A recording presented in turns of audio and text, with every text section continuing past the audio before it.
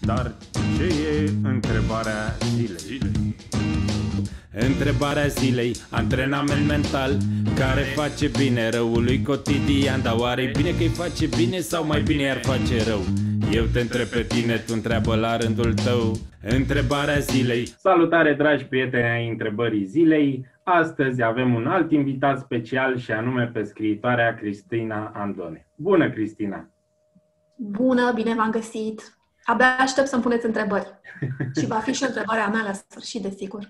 Cristina, pe lângă faptul că este scriitoare, are o viață mult mai complexă și de aceea aș ruga-o chiar pe ea să-și facă o scurtă prezentare, să le spună oamenilor ce ar trebui și ce ar vrea să știe despre ea. Va fi o prezentare în mai puțin de 30 de secunde. Eu la bază sunt publicitar și am învățat că trebuie să vorbim foarte pe scurt ca oamenii să nu se plictisească. Așadar, sunt Cristina Andone, porecla mea este End One, sunt uh, scriitor, trainer de creativitate, activist în educație și mai sunt și ronțăitor de mere. Nu voi mânca un măr în direct, uh, deși depinde cât de lung va fi interviul, dar vreo 10 mere pe zi um, îmi cad uh, victimă. Fructele și legumele sunt indicate, așa că încurajăm pe toți să facă acest lucru. Cristina, care este anotimpul tău preferat? Că tot avem această toamnă superbă. Bine, poate nu este toamna, dar profit de acest anotimp și te întreb. Uh, da, este vara. Eu sunt născută vara. Îmi place foarte mult vara pentru sentimentul de libertate, de vacanță. Vara, până la urmă, este anotimpul vacanței, este anotimpul picioarelor goale, este anotimpul cu cireșe la urechi și este perioada din an în care te simți cel mai, cel mai liber. Pare cumva că vara timpul este mai îngăduitor cu noi. Ne lasă în pace și ne amintim poate cum eram atunci când um, în copilărie stăteam uh, la bunici, stând pe, o, pe, pe iarbă sau pe o căpiță de fân și lăsând timpul să treacă fără gânduri, jucându-ne. Mie mi se pare că vara ne salvează de efemer și mi se pare că vara este un uh, pașaport către eternitate. Eu așa o simt în orice caz. Foarte frumos. Și eu sunt născut tot vara și înțeleg ce zici. Și ne place că stă soarele mai mult pe cer, este mm. mai mult timp alături de noi. Da. Cum îți începi tu ziua, Cristina? Ai un obicei anume care îți face mai ușoară intrarea în problemele de zi cu zi? Da, am o, chiar o rutină. Vreți să vă arăt acum? Bine, este, pare un pic bizar. Dar, uh, în momentul în care mă trezesc, desigur că deschid fereastra și inspir aerul proaspăt sau cu ceață sau cu ce-o fi, dar mi se pare important să am acest prim racord. Apoi, dau drumul la muzică. Ascult, um, în ultima vreme ascult muzica propusă de fata mea. Ea și compune muzică, așadar pe o muzică minimalistă uh, fac următorul lucru. Și fă și tu cu mine, te rog. Vrei? Intrăm în joc. Da. Bun. Deci, am fereastra larg deschisă. Închipuiește și tu că-ți deschizi fereastra. Mm-hmm. Perfect. Apoi, fac așa cu palmele și mă legăn un pic. O să fie ciudat, dar asta e. Bun. Apoi îmi duc întâi palma dreaptă la ochi, căuș. Ok? Palma stângă. Ok? Și mă legăn pe muzică Acum este foarte bizar. Ochii sunt închiși, ochii sunt închiși. Uh, îi rugăm și pe cei care ne privesc acum să nu ne judece foarte mult, să facă și ei la fel. Deci palmele căuși peste ochi. Ne legănăm. În momentul ăsta simțim că ne este cald, ochii se încălzesc. Și avem sentimentul acela de vară, de bine, de soare. Stăm fără gânduri. În fine, eu mă legănț mai mult, dar acum Deschidem. Deschidem palmele. Ok. Pe mine mai prins, să știi. Așa? Facem așa, ca să ne, să ne revenim puțin și un mic masaj de tâmple, un masaj așa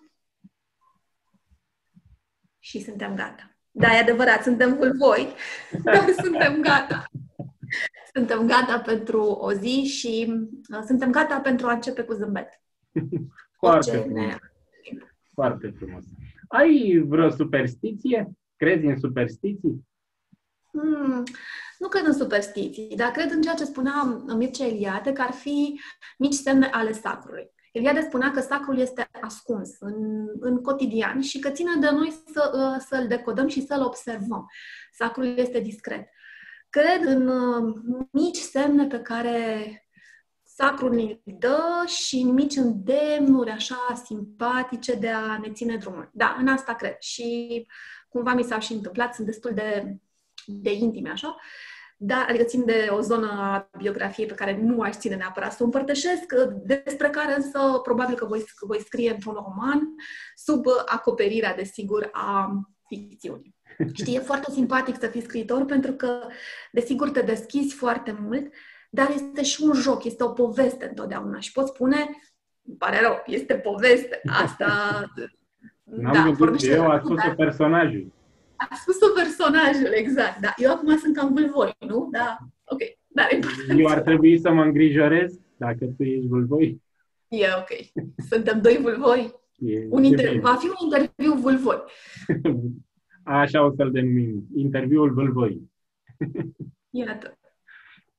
Colecționai ceva când erai mică sau colecționezi și în momentul de față? Hmm. Când eram mică, uh, da, eram colecționar de petale. Ceea ce mi se pare acum o contradicție în termeni. Colecționar de petale înseamnă a colecționa, înseamnă de fapt să ancorezi timpul în ceva ce rezistă, da? Ori eu colecționam petale, iar petalele sunt definiția efemerului. Speram că în felul acesta hrănesc zânele, știi? Mergeam colecționam, adunam tot felul de petale, le puneam pe, pe pervaz și în momentul în care ele se uscau, eu îmi spuneam, povestea din mintea mea era că petala adevărată s-a dus către zâne și ceea ce mi-a rămas, a rămas ceea ce uh, uh, uh, cumva a dat ea înapoi sau nu era suficient de bun pentru ea. Bun.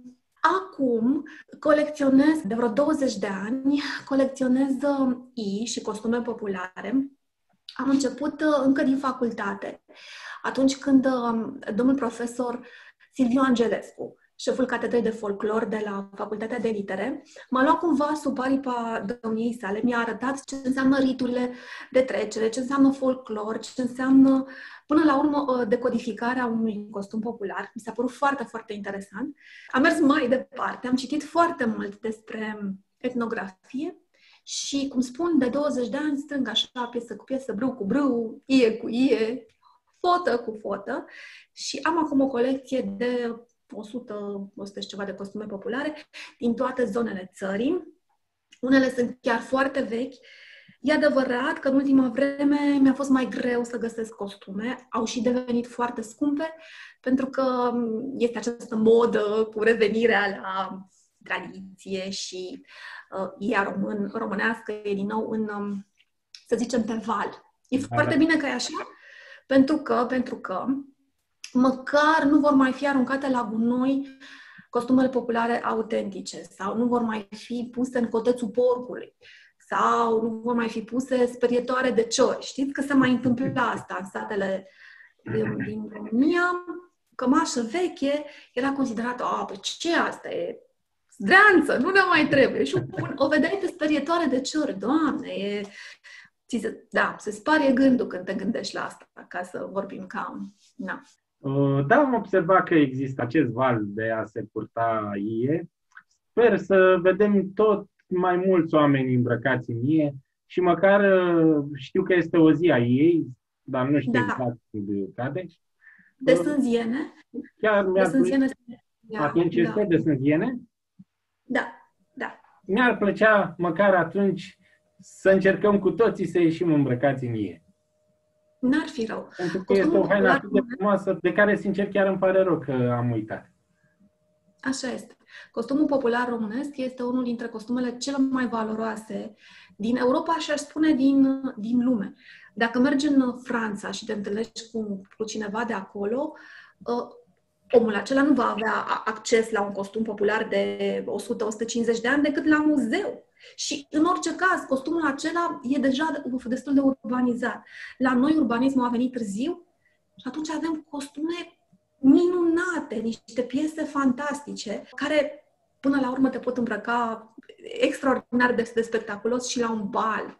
Mie mi se pare, că, de fapt nu mi se pare mie, știi că Regina Maria și principesele de la, de la curte se îmbrăcau un costum popular, e adevărat de mușcel, acela este foarte, foarte prețios, așa, are influențe bizantine. Și arătau minunat, nu arăt, adică arătau cu atât mai, uh, mai regal.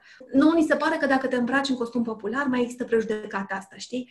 Ai venit să aduci mămăliga sau ai venit cu tava să ne servești da, poale în brâu. Nu, nu, nu, nu. Costumul popular are o demnitate și o poezie absolut fantastice.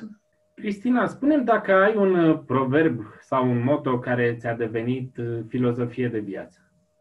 Mm-hmm.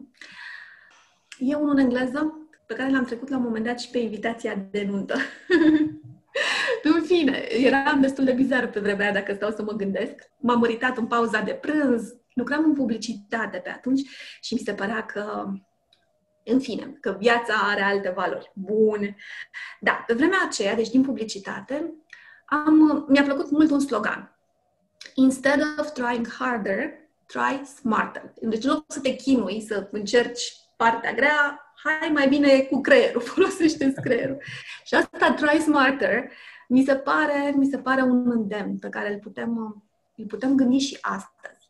Când astăzi ne e greu, nu? Ne e greu tuturor, ne este complicat, e viața își parcă și închide porțile, nu mai știm încotro, există multă anxietate hai să ne spunem asta, try smarter, hai să încercăm o cale înțeleaptă. Întotdeauna, de altfel, asta ne spun economiștii, când uh, ceva scade, altceva crește. Nu se poate să se cadă tot. Că Balanță nu se... Da.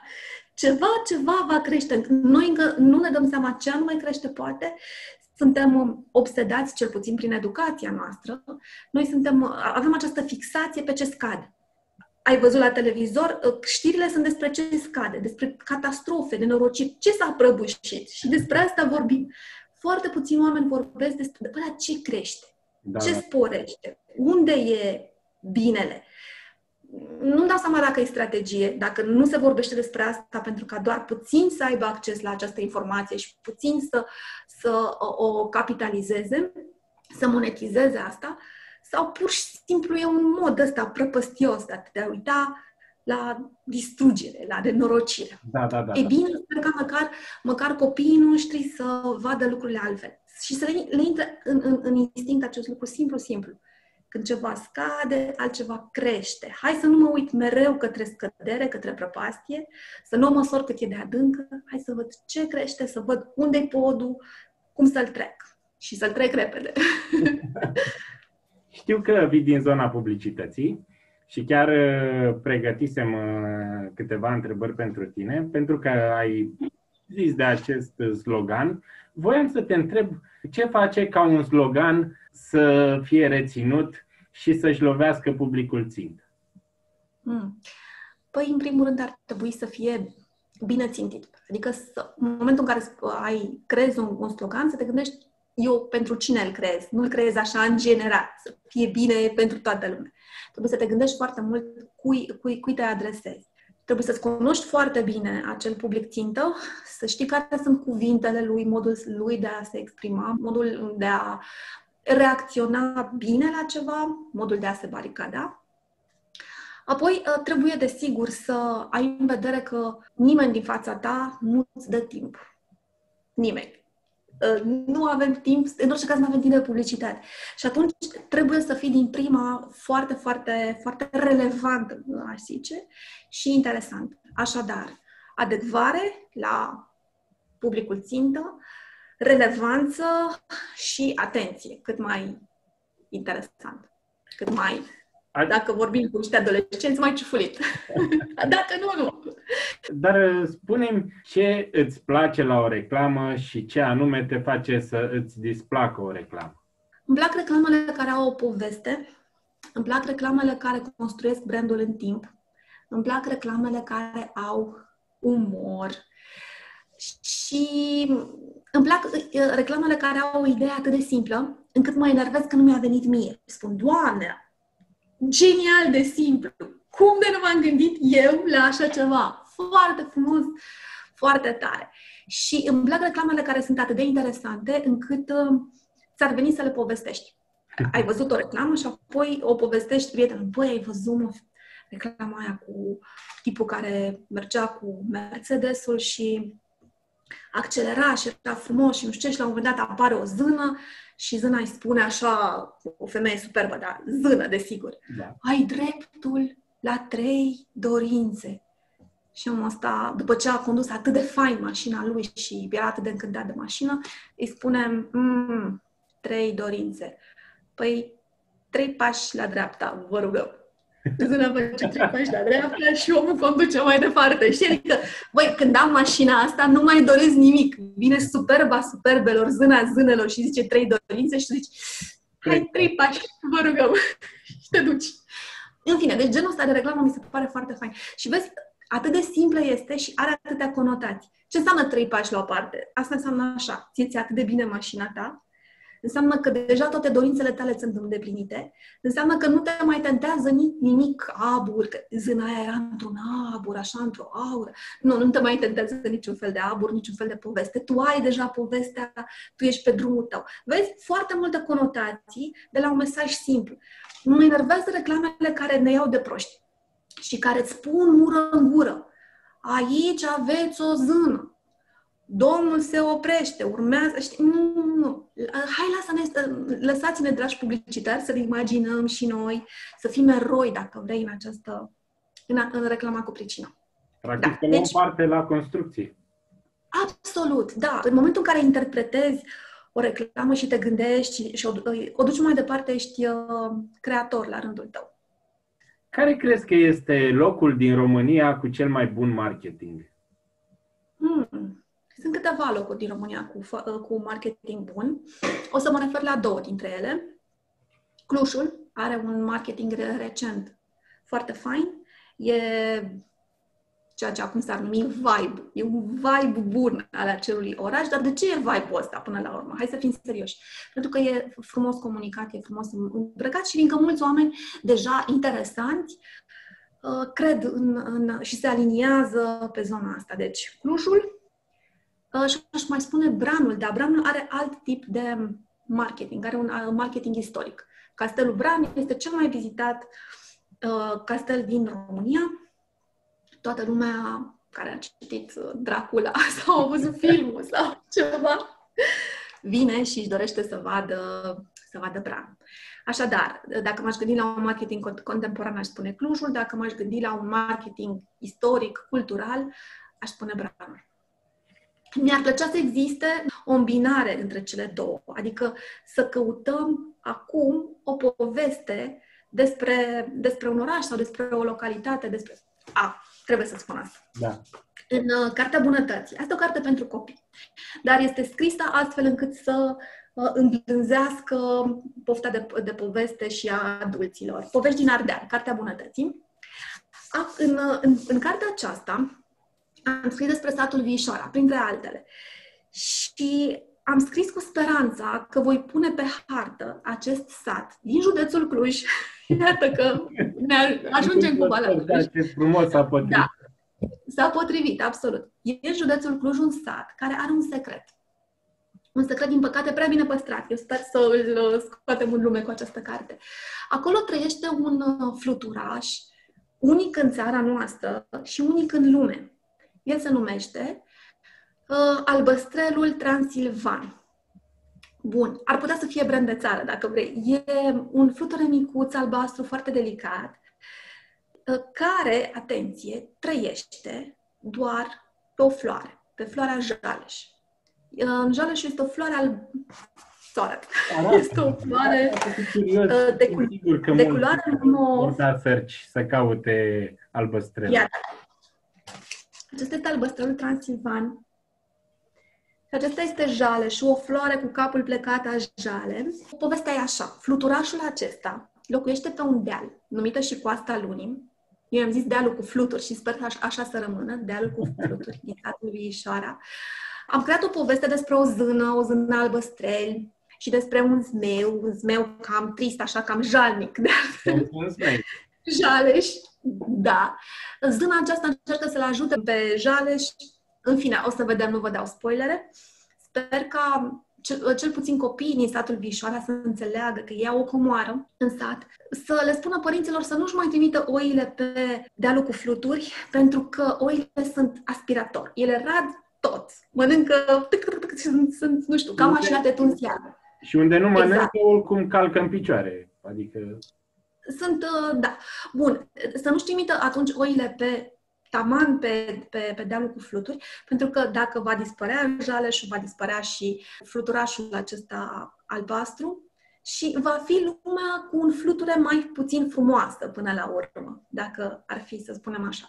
Cartea asta a fost uh, făcut, făcută cadou.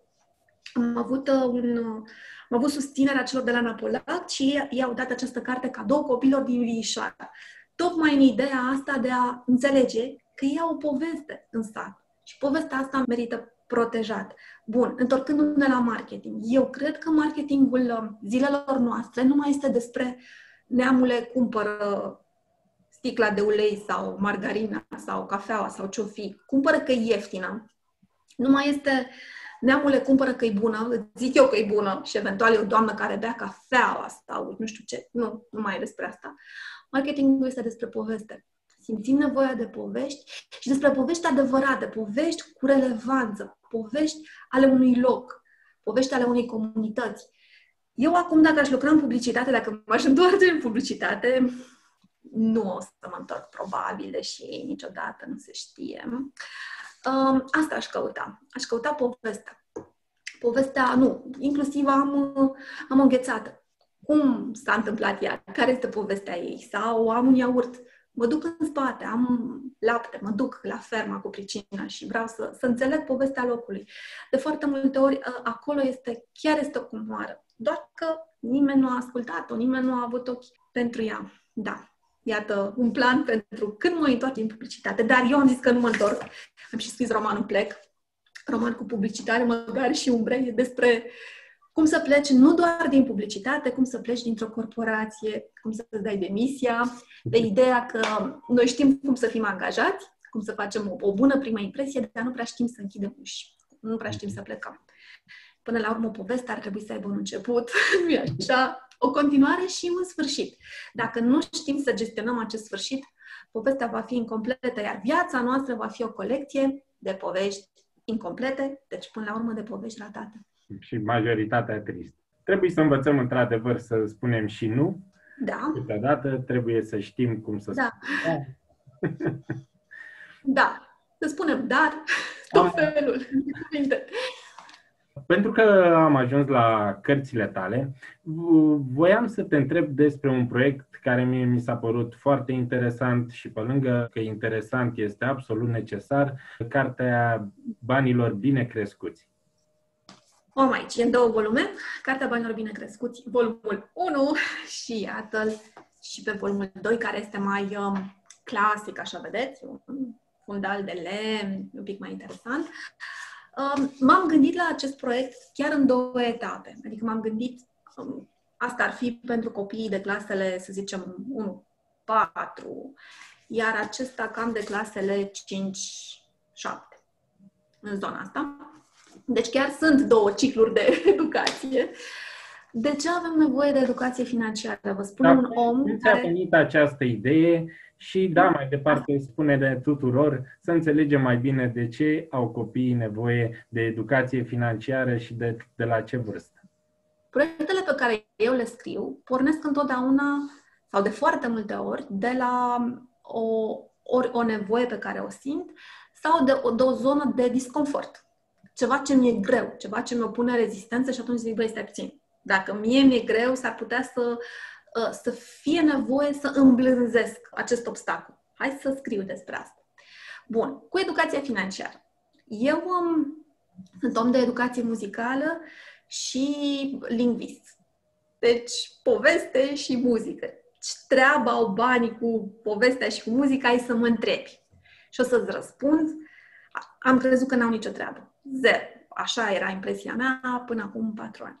Când um, copilul meu mai mic, Sashi, pe care cred că îl și știi, de, poate de la ateliere, da. când am mai văzut, m-a întrebat așa relaxat, era seara, stăteam în pat, îi citeam despre Bach, copilului meu, ascultam pe fundal o fugă de Bach și Sasha mă întreabă, mama, tu cât câștigi pe an?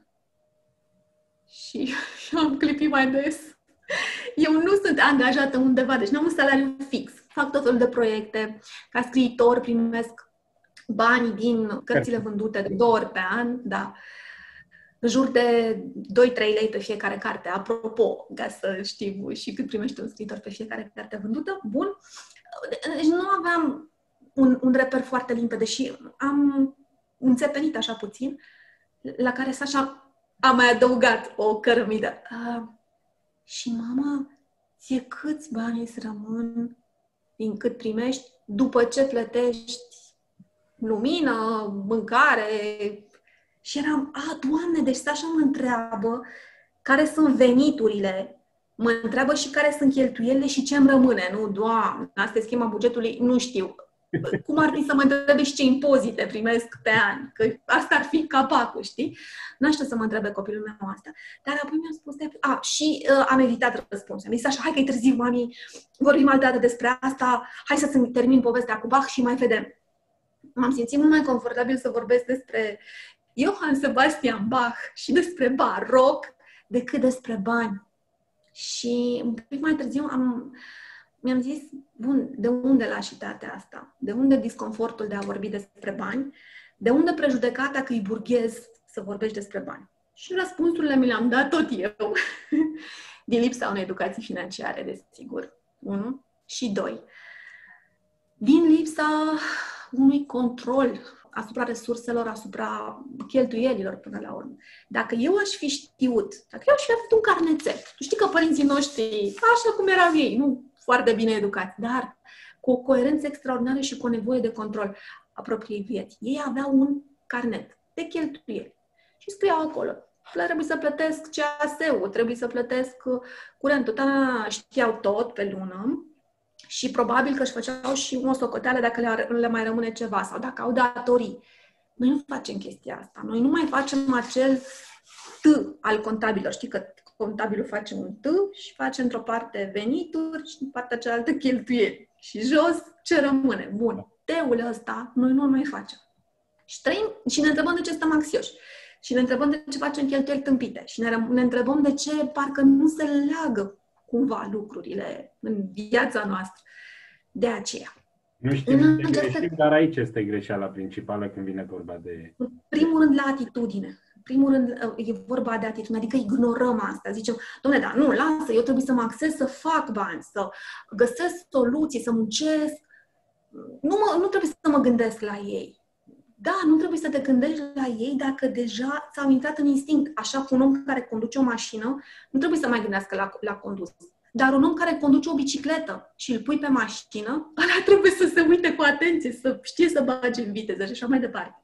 Noi, din păcate, suntem niște pietoni care uh, conduc această mașină a bugetului personal fără să aibă habar de accelerație, frână, reguli de circulație. Și ne mai întrebăm de ce sunt accidente. Hmm, de aceea. În școala banilor bine crescuți, eu vorbesc așa.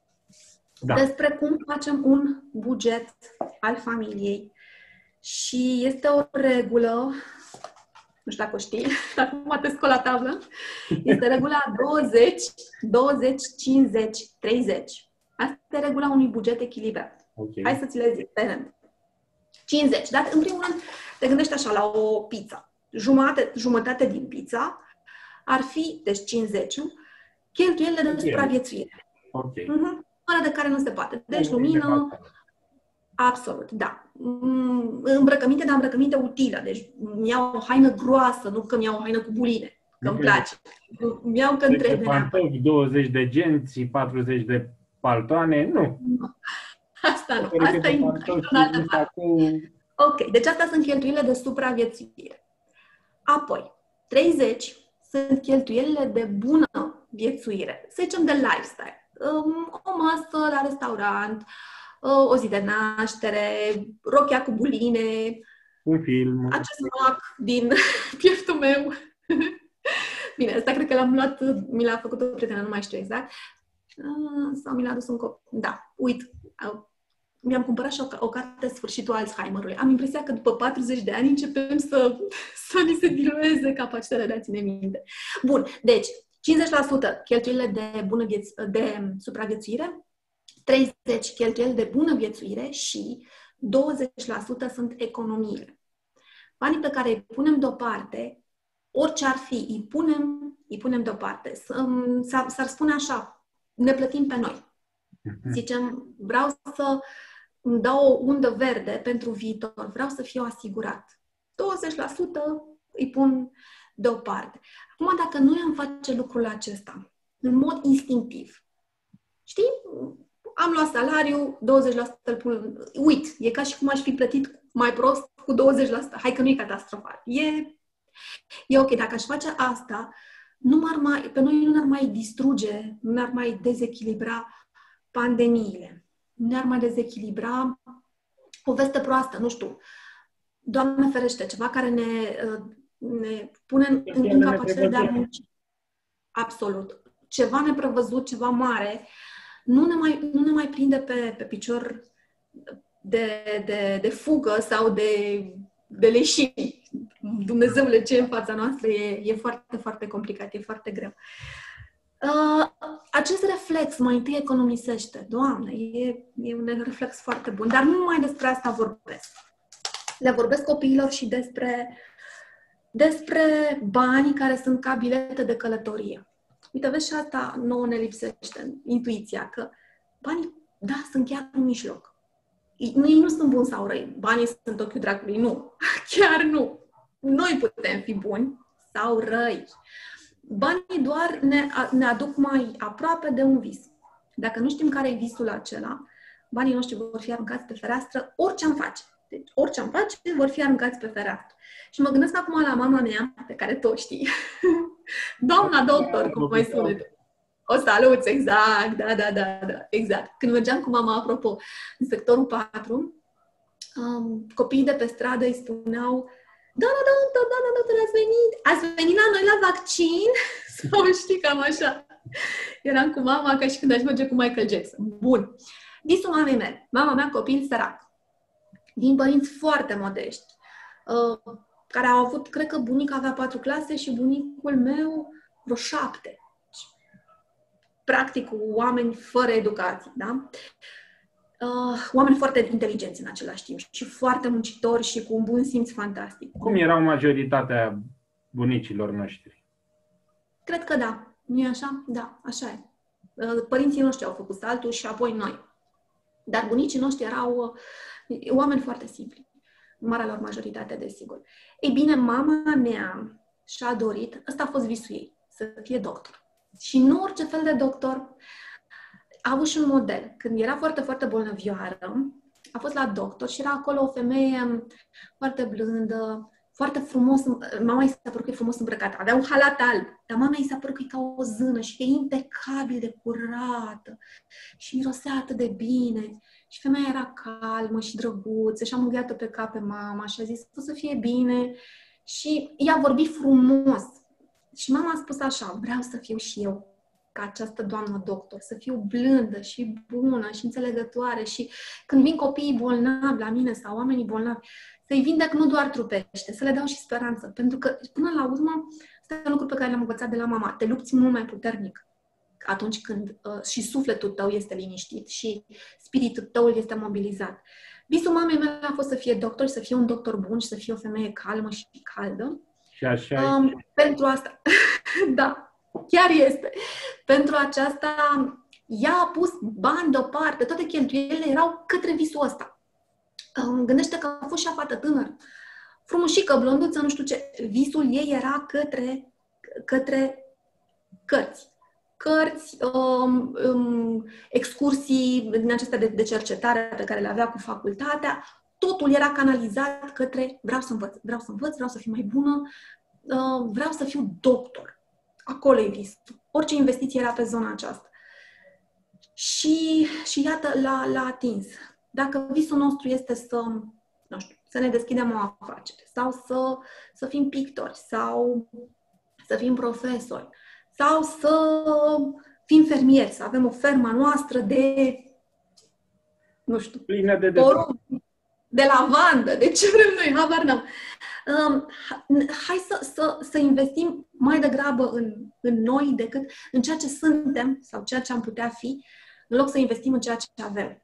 Știi? Da, da, da. Noi suntem un proiect minunat.